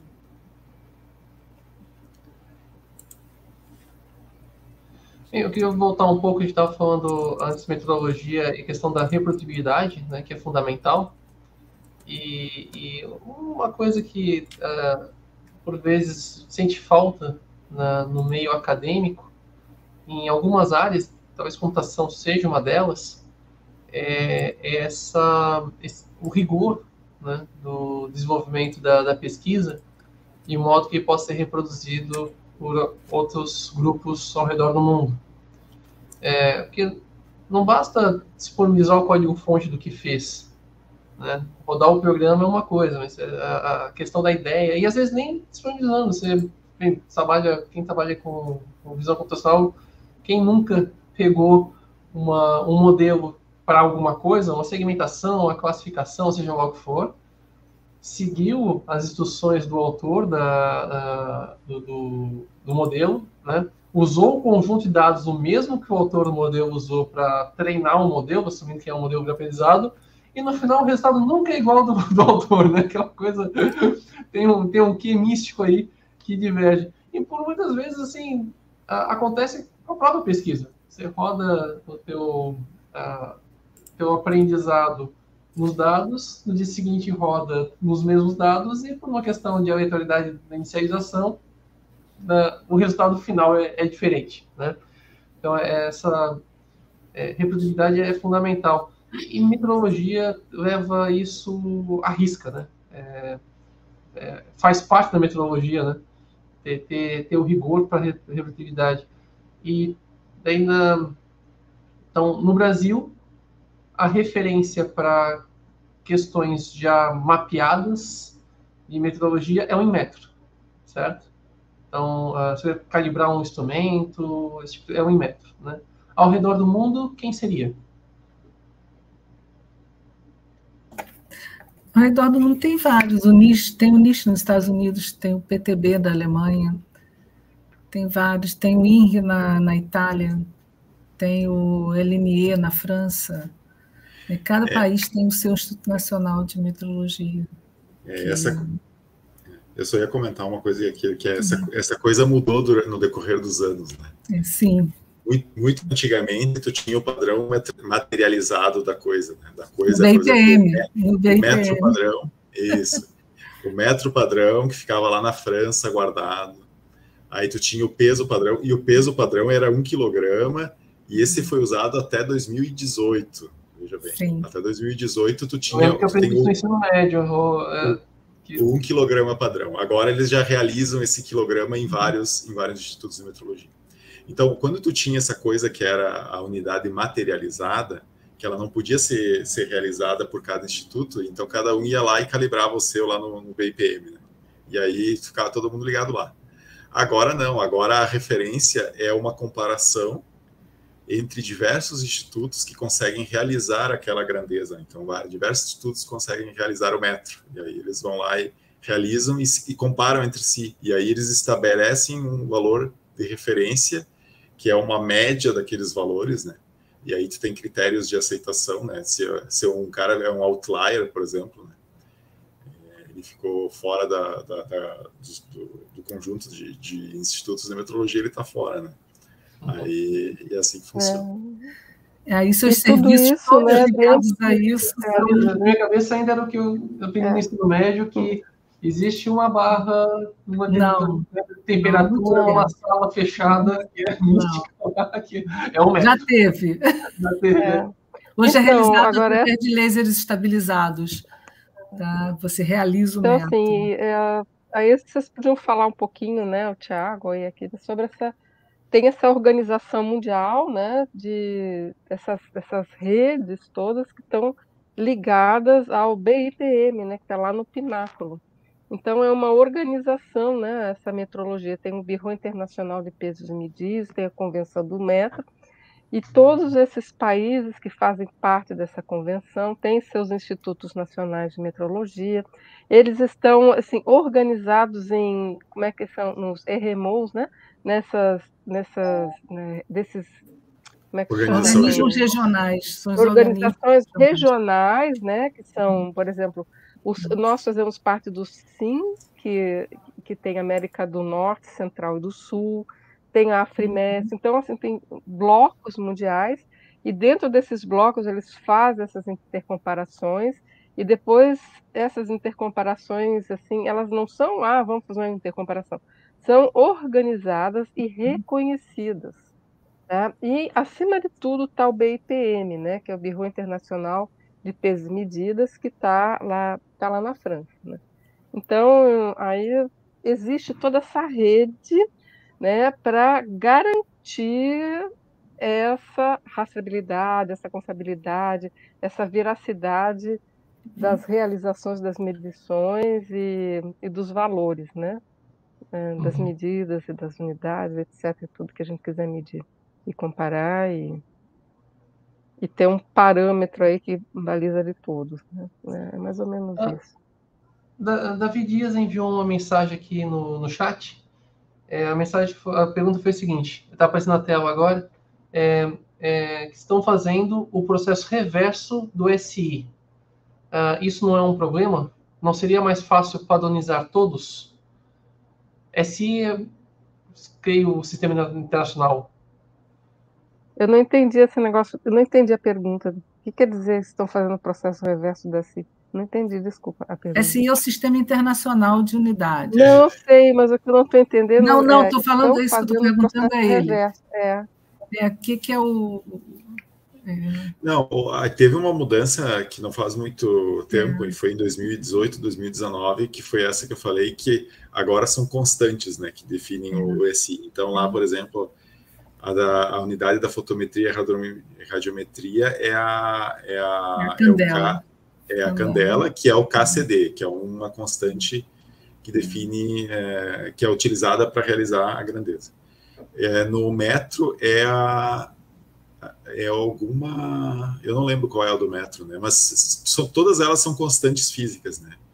Então, por exemplo, é, eles fixam. O importante é isso, é, são as constantes físicas fundamentais né, para sair de, do, do, dessa reprodução materializada, assim, dessa de matéria mesmo. Então, são constantes físicas. Aí, cada um tem que uh, fazer um conjunto de, de medições, de processos que vai resultar naquele, naquele valor daquela grandeza. Né? Então, ele vai dizer isso aqui é um segundo. Aí um outro NEMAI tem um outro sistema de medida tal e faz aquele um segundo. Depois eles comparam os segundos por métodos e etc. Mas a realidade é que são são constantes físicas fundamentais da natureza, assim. É, é na verdade, isso, primeiro, né? primeiro tu mede elas, né? Aí chega um ponto que tu decide fixar elas para te poder uh, ter as outras grandezas. No caso, a última que foi fixada, eu acho que foi a constante de Planck, né? Que isso ajudou na, na tirar o, uh, tirar aquele quilograma, sabe? Aquele quilograma, eu acredito que ele ainda está lá, trancado no cofre lá do BIPM, né? São, acho que são, uh, se não me engano, meia dúzia de exemplares que estão lá dentro, mas tem um que é o especial, né? e aí está lá no cofre e é usado só para comparação, né? É, mas agora quem realiza são essas é um método, é um experimento científico. E aí cada um pode fazer esse experimento científico. Eventualmente, se um laboratório tiver muito dinheiro, ele pode construir lá uma balança e realizar o seu próprio quilograma, entendeu? E fazer e aí ele pode depois é, ter lá a própria definição do quilograma, mas não vai ser é, essa que é, que é a questão. Ah, então, então, se eu entendi a pergunta do Davi, a segunda parte, né, que não seria mais fácil padronizar todos, então, é, sim, é padronizado hoje, é em cima dessas constantes físicas. Em cima das constantes físicas, certamente. E, todos... e, e daí, para poder transportar isso para um uso prático, existem procedimentos que é, colocam a medida de metro, um metro em, em função daquela constante física definida. Quem seguir aquele procedimento deve conseguir ter o seu metro. É isso? Não, você, Fundamentalmente você é isso. Você, é tem, você realiza essas, essa, o metro. Você faz a realização do metro através de lasers estabilizados. Então, é, e você é, tornar isso prático, é, você usa interferômetros para poder, por exemplo, por exemplo, é ter o metro, na verdade, ter isso de forma prática. Né? É isso.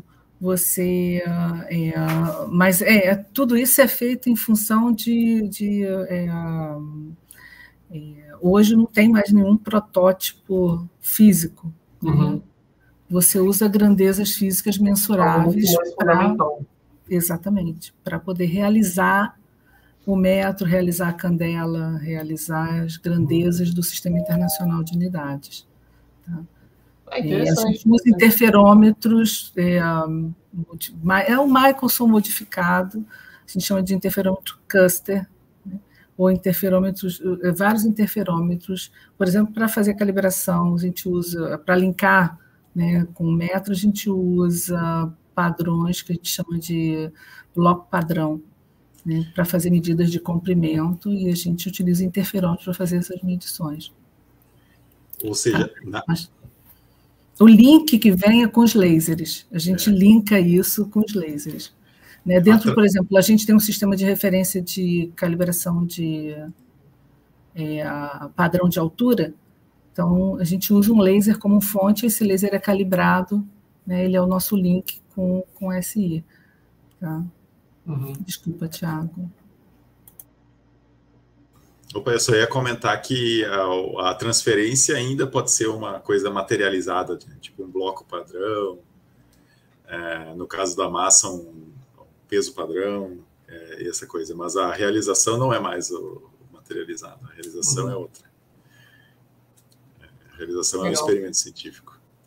E, é o, e o legal é que isso pode ser feito em qualquer lugar, né? Em princípio, se tu conseguir transmitir isso para a galáxia e outra galáxia tiver alguém, é, alguma civilização inteligente capaz de, de detectar o sinal outro é, lugar ele, e, e, decodificar isso, ele vai poder realizar e saber como é que são as medidas. Porque são coisas da natureza e, e que se aplicam em qualquer lugar do universo. Legal. Isso um... é um viagem, tá? Tranquilo.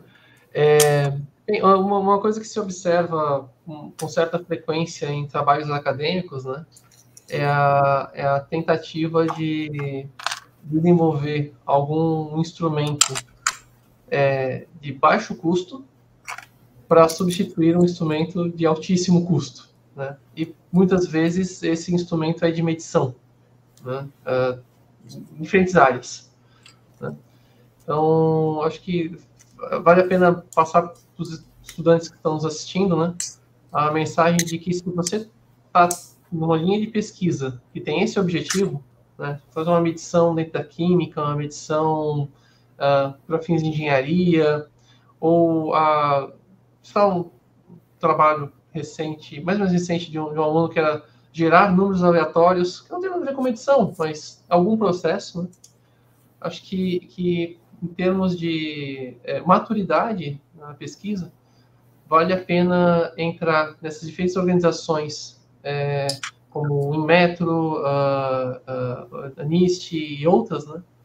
E procurar se já não existe um, um protocolo definido para aferir se o teu instrumento ele é, é, é tá dentro de uma, uma, margem de erro esperada para uso prático. E isso acho que em termos de, de pesquisa acadêmica é um salto importante para que a avaliação do resultado obtido não seja só ah, comparei com a minha régua aqui de, de 15 centímetros e ó, ficou, ficou bom, sabe? Aquela coisa. Claro, nem todo mundo vai ter um laser, né? Para fazer um método. Mas é, no caso lá de números aleatórios, nisso tinha um protocolo definido, vários passos, uma receita, inclusive implementações prontas para você colocar os seus números aleatórios lá, para verificar se aqueles valores gerados aleatoriamente podiam ser considerados verdadeiramente, verdadeiramente aleatórios ou se existia algum padrão uh, é, embutido ali, o que é um problema, né? Se essa geração de números aleatórios for empregada, sei lá, num, nesses cassinos virtuais ou alguma coisa assim, né? Algum viés envolvido. Então, avale a plateia aí, né? Então, se você está trabalhando com alguma coisa que envolve medição, faz o dever de casa, entra nesses institutos, procure pelas, pelas normas, pelos procedimentos e aplique. Né? Isso vai tornar o teu, teu resultado muito mais interessante, né? É, e, e, e, eventualmente até apontar a necessidade de correções no, no que está sendo feito. Ok? Uh, bem, é, dando, dando, mudando mais uma vez de assunto, né? É, no, no, lá no, a, no site da CIE é, existem alguns datasets né, é, disponíveis. Uma coisa que é, é cada vez mais necessário né, é, é a existência de dado uh, confiável, anotado, para poder ou uh, ajustar modelos ou validar modelos. Né?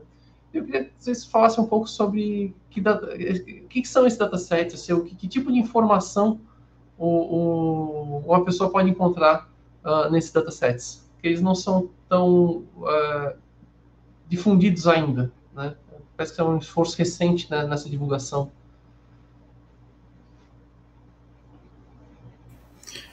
É, bom, eu posso, posso comentar essa. O, a CIE, ela, ela, ela publicou e, oficialmente esses, esses uh, datasets em setembro, se não me engano, do ano passado.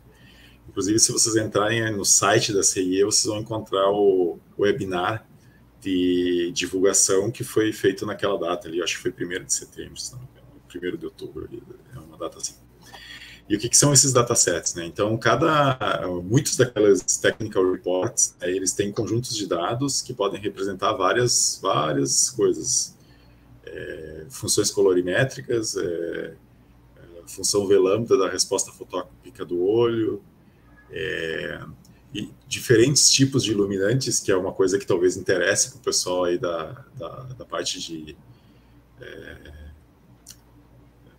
de, de fugiu, E então, é, talvez interesse para o pessoal. E, e, então são diferentes tipos de conjuntos de dados. E esses conjuntos de dados, eles inicialmente eles vinham é, com uma tabela dentro do, do arquivo PDF. Então aí tu vai, tu pode encontrar em outras fontes, né, em outros sites, né, tu vai encontrar lá muitas vezes aquela aquela tabela lá copiada e colada e não, a gente nunca sabe se o cara comeu uma parte dos dados, o que aconteceu.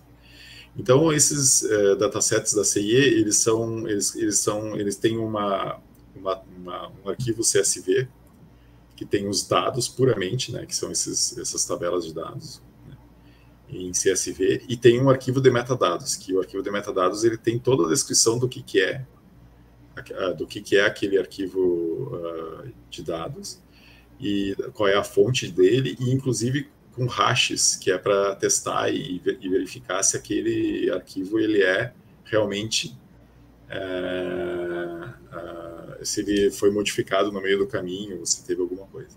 E tudo isso foi validado dentro daquele uh, eh, TG, né, que eu falei lá no início do, de produtos digitais da, da CIE. Então, é uma maneira, digamos assim, confiável de obter dados de qualidade para fins, para qualquer fim, inclusive de pesquisa, inclusive não pesquisa, inclusive para aplicação prática lá no final, é, é um lugar confiável. E os dados, eles estão no, no site da CIE, eu posso passar o link para vocês, mas eles estão na parte de Technical Work Datasets. Tem lá uma. Ah, eu enviei o link agora há pouco uh, no chat privado. Ah, já enviou. Uh, se o professor Marcos puder colocar de forma pública, por favor. Então, se você, eu, eu, esqueci de falar, né? O arquivo de metadados ele é um arquivo JSON, né? Então, JSON, não sei como é que o pessoal fala, né? mas é um arquivo uh, disso e aí que ele tenha toda a descrição do, do arquivo de dados. É óbvio, né? Para se aprofundar aí na, na questão da, da, da aplicação do, daquelas funções e daqueles datasets, aí teria que ter a norma. A norma não é disponibilizada, eles, eles disponibilizaram os datasets.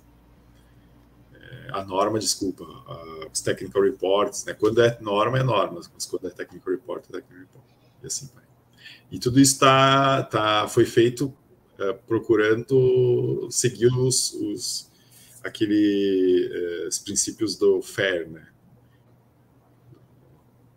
De, de, de dados, né?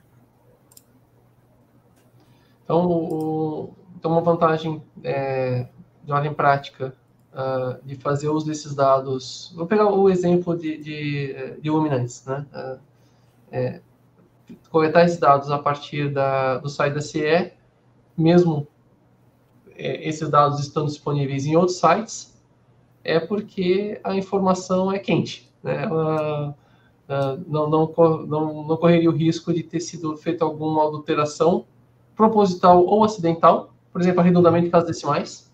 Uhum. Né? Então, seria uma fonte mais confiável uh, de informação. Seria isso. É isso, é isso mesmo. Ah, legal. Então, fica aí para quem está nos assistindo, né? Dá uma olhada nesse, nesse dataset, vai que tem alguma coisa que, que seja pertinente à pesquisa que está sendo desenvolvida, ou o simples conhecimento da existência desses datasets pode ser útil para futuro. Se você está aí na pós-graduação e almeja continuar com pesquisa, seja dentro da universidade ou junto a uma empresa, eventualmente, ao longo da sua vida profissional, você pode precisar de um dado uh, como o que está disponível lá. Então, hoje pode não precisar, mas saber o que está disponível é a chave para, no futuro, poder uh, aplicar. Certo? Leandro, só uma pergunta. É, você tinha falado sobre é, confiabilidade daqueles programas que vocês fazem, né?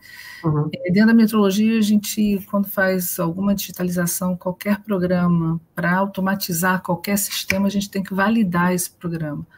Então, o programa é todo validado. Você tem que garantir que a, o resultado ali é, é, é é um resultado confiável com aquele que você fazia sem a digitalização, né, sem a automatização. Então, assim, é, a gente valida tudo. É, tudo que é feito você tem que deixar em aberto também para que a gente possa validar. Uhum. Tá? Eu não sei como é que vocês fazem é, na, nessa área de pesquisa de vocês? Como é que vocês validam esses, esses programas que ah. vocês ah, desenvolvem?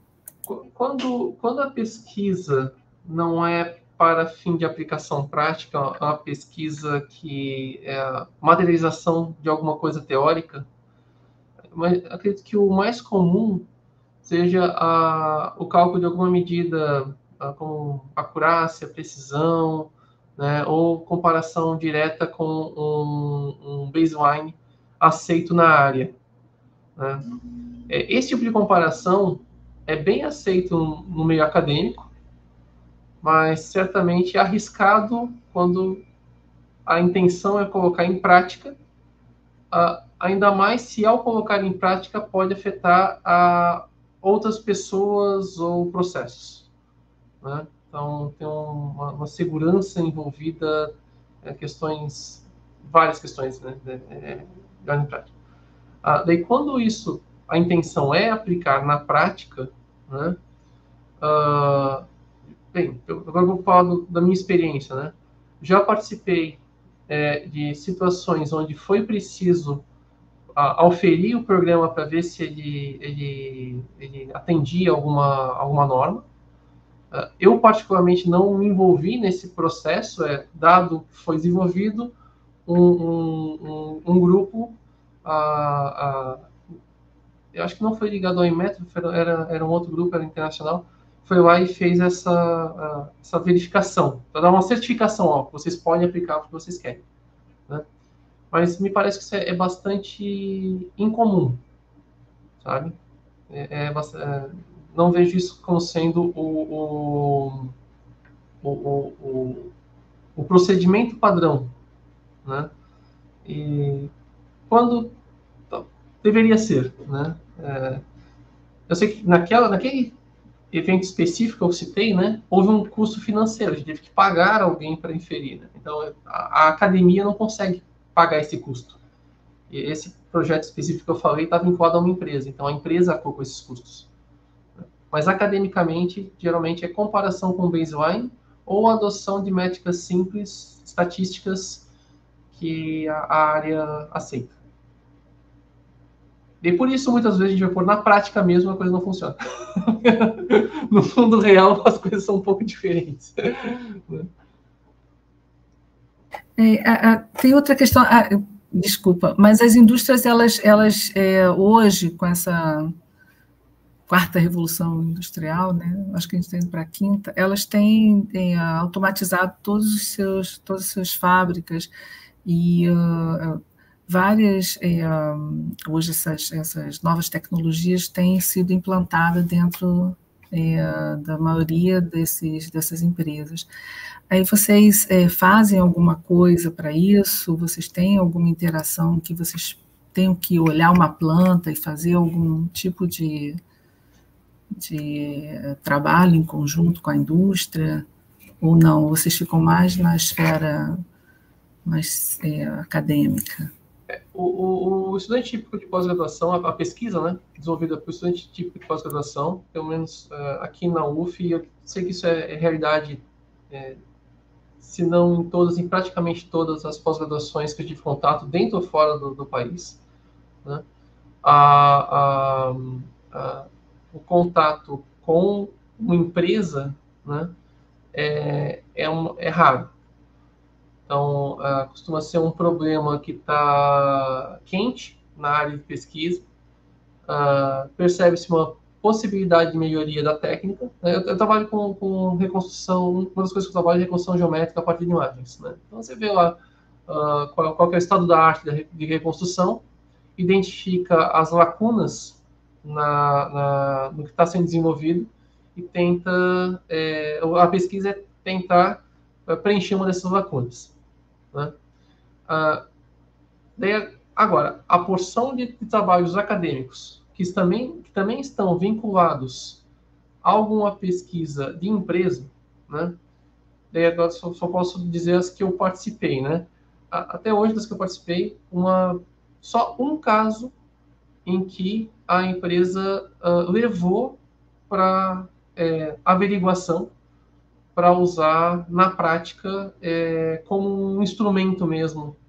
Uh, que, que, a, empresa pode, pode falar, não, é, isso aqui é um instrumento de medição uh, como um outro qualquer, só que foi feito com a partir de imagens e tudo mais. Né? Foi para medição de, de comprimento de, de coisas que estavam dentro do ambiente. Né? Todo o resto, 99% né, dos outros, todos os outros casos, só teve um caso, mas todos os outros casos não. A, a empresa até aplica na prática as soluções apontadas, é, desenvolvidas academicamente e colocadas, eles colocam em produção, né? É, mas colocam em produção como um, vamos chamar assim, um, um, um indicativo do que deveria ser aquela medição. Né?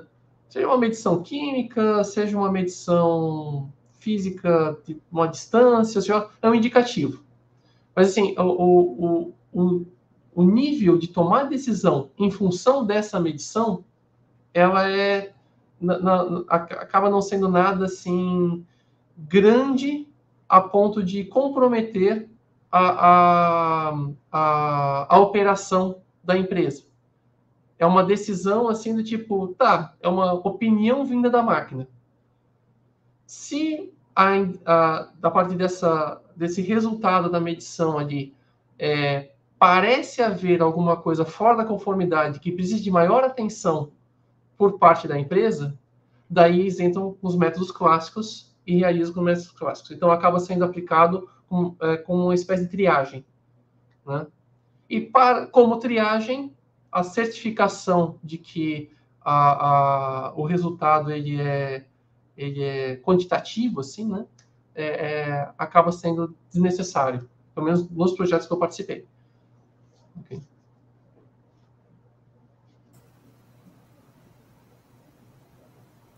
Um assunto, Leandro, que tem é, também está um pouco, digamos, é, bastante comentado na parte da metrologia e que envolve essas, essas coisas que estão no guarda-chuva da transformação digital, né? É a questão de é, digital twins, né? É, na metrologia, isso daí é meio que replicar um sistema de medição que está no mundo real, né? Para o mundo uhum. virtual, né? E aí, é, e aí essa, essa é uma questão que, que também está sendo discutida e, e buscando uh, e buscando tipo uh, está indo em pesquisa, né? Mas é uma coisa que eu acho que é, que é, talvez seja interessante aí para o pessoal saber, né?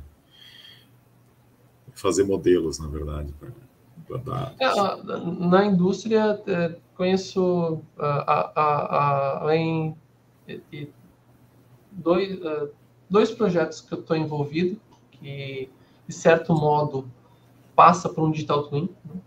Tem vários colegas em outras universidades do Brasil que estão em contato com, a, com alguma empresa né, para desenvolver coisas assim. Então, realmente é um assunto bem quente, assim, e, e cheio de problemas a, a serem tratados. Cheio de problemas. Sim. Problemas dá um, um, belo mestrado, um belo doutorado, sabe? uh, questões de ordem prática, é, de, de, que vai desde a aquisição da informação né? Geralmente por imagens, vídeos, né? Algumas coisas com áudio mesmo. Uh, até a, a questões de, de, o volume de dados a ser processado. Né? Não envolve a, a, medição propriamente dita, mas envolve a capacidade de desenvolver software que implemente algoritmos com complexidade tratável. E por muitas vezes, para lidar com toda essa quantidade de informação, a parte dela é descartada. E aí, qual é o impacto de descartar essa, essa informação? Né? Talvez tenha um impacto na medição final. Então, o estudo desse impacto e, e a proposição de formas mais é, leves de lidar com tanto dado, quando você trabalha com imagens e vídeos, né, é, é tema, é tema atual de pesquisa, assim, é bem legal. Bem, uh, a gente está aqui uh, 15 minutos para o final, né? É, eu queria conduzir aqui, então, para meio que o encerramento do nosso painel, é, perguntando para vocês aqui se existem mecanismos né, de cooperação entre o Inmetro e a universidade, não, não só em relação ao CIE Brasil, né, mas o Inmetro como um todo, envolvendo alunos de pós-graduação.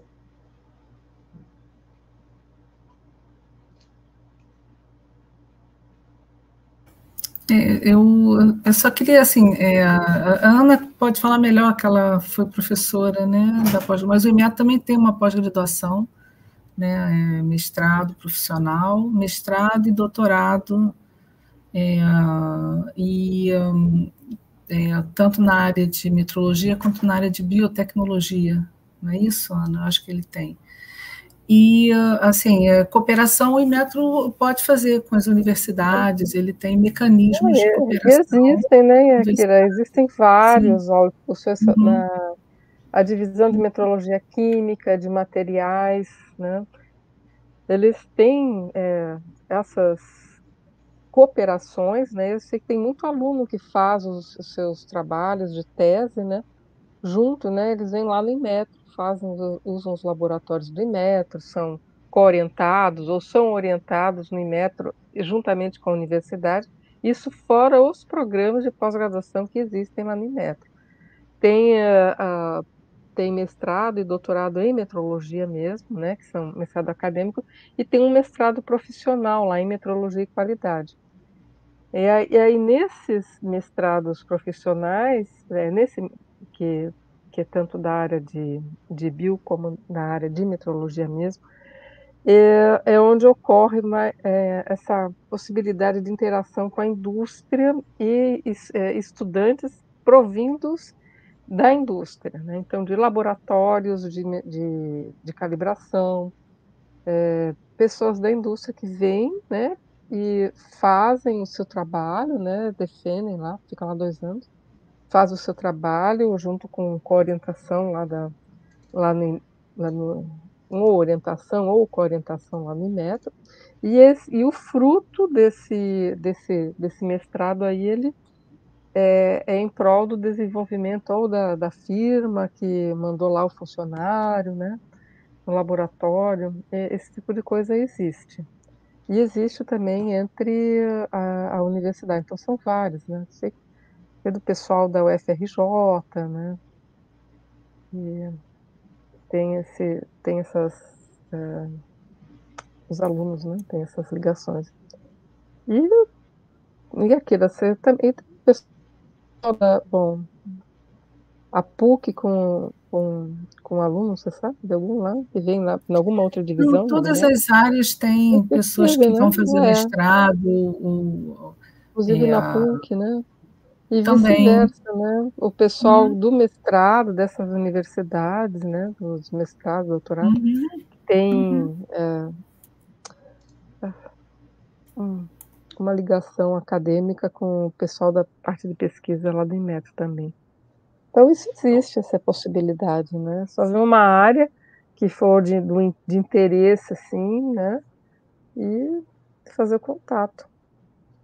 Então, supondo que, que eu sou um estudante de, de pós-graduação, mas imagino que o contato não seja o estudante que faça, seja o seu orientador ou orientadora.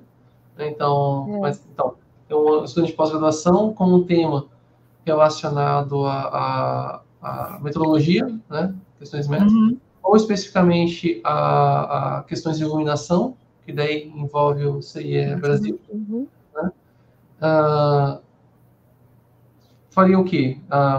Uh, procura um grupo de trabalho, no caso do, do, do CIE, é, uh, ou manda um e-mail, não sei, é, saque a Geralmente você manda um e-mail para as divisões técnicas da diretoria de meteorologia é. científica industrial né, e tecnológica. O primeiro contato. É, o primeiro contato. É. Geralmente os chefias das divisões, as divisões têm nomes assim, divisão de meteorologia óptica, é DIOPT, Divisão de Metrologia Mecânica, de MEC. Geralmente, é, uhum. isso está no site, você manda o e-mail uh, e, uh, e aí as, as, pessoas vão, você vai ter que dizer a área que você está interessado, uhum. e aí esse é o primeiro contato. É diferente de cooperação técnica, né, uhum. que é uma coisa mais formalizada, num convênio, tá? Entendi. Mas você, eu, eu, por exemplo, é, eu fiz meu doutorado na PUC, eu já estava no Imetro. Então, assim, o Imetro, naquela época, tinha um, um tipo um convênio com a PUC. Né? Então, os alunos iam, os funcionários, servidores iam fazer o doutorado lá. Mas uma pessoa da UF pode fazer um, é, pode é, fazer uma parte da sua, da sua tese em metrologia, tem que só entrar em contato com as pessoas com a área definida, né? Que área, se o IMETRO tem, geralmente as pessoas aceitam. Uhum. As pessoas façam é, mestrado, complementem o seu mestrado com a área metrológica, mas também tem colaboração metro. É, é, é sempre é, colaboração científica é sempre bem-vinda, né? Uhum. Sim. E, do ponto de vista acadêmico, né, da, da, desse, pelo menos essa dupla, né, orientando orientador, uh, tá ter as, uh, o, o, acompanhamento uh, de alguém de, um, de, um, de, uma organização especializada em, em meteorologia, né, uh, é, é muito bem-vindo, assim, porque ajuda a não cometer erros crassos, assim, que podem comprometer a pesquisa. Eu acho que, que ter esse, esse olhar que o Inmetro vai ter, né, a, a pessoa dentro do Inmetro vai ter, uh, de uhum. se os processos desenvolvidos estão de acordo com o que se espera, com o resultado vai ser oferido como se espera, eu acho que é fundamental para o sucesso e, no fim, sem isso, tá, vai publicar um artigo. Mas com isso, talvez, vai publicar um artigo e a técnica desenvolvida pode entrar no mundo real. Né? Que é, um, uhum, é. essa imensa distância entre resultado acadêmico e resultado acadêmico aplicado. Acho que essa, essa parceria as, as, a, pode auxiliar muito nesse sentido. Uhum. É, eu acho importante ter estudantes porque eles são, na verdade, são o futuro, né? E, e assim, eu, o curso técnico, o IMET tem um curso técnico também. É, e assim, tem, é, algumas pessoas falavam, ah, tem gente que acaba não ficando na metrologia, mas eu acho importante porque essa pessoa, mesmo não ficando na área metrológica, ela vai disseminar essas informações, vai falar corretamente as unidades e tudo, e vai disseminar essas informações metrológicas corretamente, né, onde ele vai, vai trabalhar. Então, mas assim, a, o IMET está sempre aberto a cooperações técnicas e recebimento de, de estudantes. É, professor Marcos, o, o Thiago enviou um, um, link ali na, no chat privado, você poderia passar para o. É, eu botei o link dos laboratórios, que é, que é porque era o assunto que vocês estavam falando. E, na verdade, agora eu vou colocar mais um link que é que é o da, do CIE, é, é, que é uma propaganda do CIEBR, do, do, CIE, é, do CIE Brasil. Que é como faz para se afiliar e tal, né? O, como é que funciona a afiliação e, e, e, o, e o que isso implica? Não, isso implica, bom, na verdade tem dois modos, né? Tem o modo o modo afiliado e o modo membro, né? O modo uh, membro efetivo e o modo membro afiliado. O modo, o modo membro uh, afiliado ele é mais indicado para realmente quem está só querendo acompanhar. Às vezes a gente vai distribuir alguma documentação de, de o que, que tem de novidades de, de, grupo de comitês técnicos e tal. Né? Se a pessoa não quiser ficar olhando toda hora lá o, o site da, da CIE, cada, cada periodicamente a gente tenta é, divulgar. E o, e o outro, que é o membro efetivo, é quando a pessoa já, já ó, se interessou por um comitê técnico e, e escreveu lá para o chair do comitê técnico e vai participar daquele comitê técnico, daí ela já pode se candidatar lá para ser membro efetivo. E isso daí, então ela é membro efetivo. O que, que, ela, o que, que ela precisa pagar? Não precisa pagar nada, é zero reais é, ela, só, ela paga com o trabalho dela para contribuir para aquele comitê técnico. É, é, mais ou menos isso, essa que é a ideia. É, e aí, o benefício que ela tem é quando ela precisar, além de, do benefício da interação com todo aquele grupo de, de especialistas de vários outros lugares, né, da, da, vários outros países, como a gente já comentou, é, ela também tem acesso a publicações da CIE, outras publicações também, com uma, um certo desconto, que é bem significativo, acho que é 66%, né, um terço do valor, acho que é. E basicamente é isso, né, Akira? Não sei se eu ia. ia né? É, é um valor bem significativo quando você vai comprar, ainda mais que é em euros, né? É. Mas essa que é, que é, que é, a, é a questão da, de participação né, nos fóruns e da, da CI, comitês. Legal. Bem, estamos aqui no, no limite do tempo, faltam cinco minutos para que havia sido agendado né, da, das seis às oito. Nesses cinco minutos, caso alguém da plateia tenha alguma, alguma colocação, alguma pergunta, né, fique à vontade. Vou dar aí um, tempinho para vocês se manifestarem.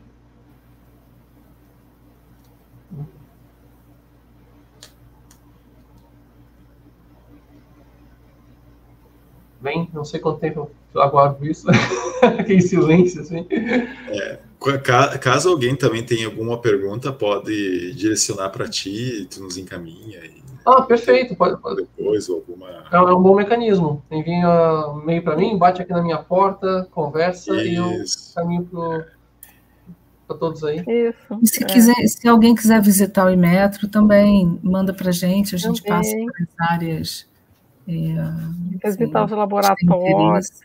Isso. É bem legal. A gente costuma receber grupos lá de universidades, de, de outras instituições de pesquisa, de cursos. É legal. É interessante, interessante mesmo. Uhum. Não sabia que tinha eh, essa, essa possibilidade. Nossa, inclusive receber no grupo. Né? Vou na minha lista de, de, de, de tarefas. É, uma lista para conhecer. Lá. Legal visitar os laboratórios. É muito bom. Bacana. Bem, então, então encerrando aqui o painel, né? É, espero que, que a plateia tenha, tenha gostado aí do, do assunto. Eu gostei bastante, assim, é, aprendi bastante aí sobre é, bem, coisas já estava uh, familiarizado, claro, mas muita coisa que, que, eu, que eu não, não sabia. Uh, e a Kira, Thiago e Ana Paula vieram trazer aí, né? Em relação a, a CIE, a, a, a Unimetro e tudo mais. Então, agradeço uhum. aqui imensamente a, a participação de vocês. Obrigado por, por aceitarem o convite né, de compor esse painel. E, e assim, né, nos despedimos aqui do, do, nosso público, nossos alunos, que semana que vem começam as aulas aqui na, na, na pós-graduação. E vamos ver aí na, na disciplina como Ministério de Visão Computacional, vamos ver quem desses alunos estavam aqui, que estão lá na disciplina estão aqui presentes, vou trazer essa discussão para a sala de aula, né? E quem sabe dessa discussão, no contexto de visão computacional, faz uma visita aí para ver o que, que uh, formas de, de, de é. estreitar né, relações entre o, os docentes e discentes daqui e os pesquisadores daí. Ok? Tá certo. Ah, eu agradeço muito o, o convite, né? E foi uma boa oportunidade de divulgar né, o nosso trabalho e a CIE, né, a CIE D1. É, espero que os alunos que estavam aí nos ouvindo, que eles tenham apreciado. Muito obrigada a todos. Muito obrigada, Leandro. Obrigada, Leandro. Eu também gostaria de agradecer aí é, pelo convite. Acho que foi bem interessante. Também, eu acho que eu também aprendi. A gente sempre aprende né, nessas, nesses bate-papos. E Aprendi bastante com o Leandro. Proveitoso para todos e espero que seja para os alunos também. É. é uma coisa interessante é de repente a gente assistir algumas apresentações dos seus alunos. Eu acho que seria interessante e também vocês uh, assistirem apresentações nossas de projetos que uhum. a gente uhum. faz. Eu acho que também é legal. É, do pessoal da área de comprimento, é. do pessoal das, das, da Ana na, nas áreas, na área que ela trabalha de pesquisa. Então, assim, tem, tem, tem, sido bastante frequente que as defesas elas aconteçam de forma uh, híbrida ou uhum. completamente à distância. Porque trazer uhum. o, o, o, o, membro externo da banca é um tanto caro. É. E, é. Não, não só a questão financeira, mas questões de ordem prática, porque você vai participar de uma banca uhum. em outro estado, você perde aquele uhum. dia né, de trabalho uhum. que conectar Então, é, é, desde, a, desde a pandemia, acho que não, não tive nenhuma banca uh, completamente presencial. E nesse sentido, é. fica fácil de mostrar o que tem sido feito, né? É. Que nós não temos a regularidade de seminários com os alunos apresentando o, o estado das pesquisas antes da conclusão, mas temos a, os, o, as defesas que são públicas. Né?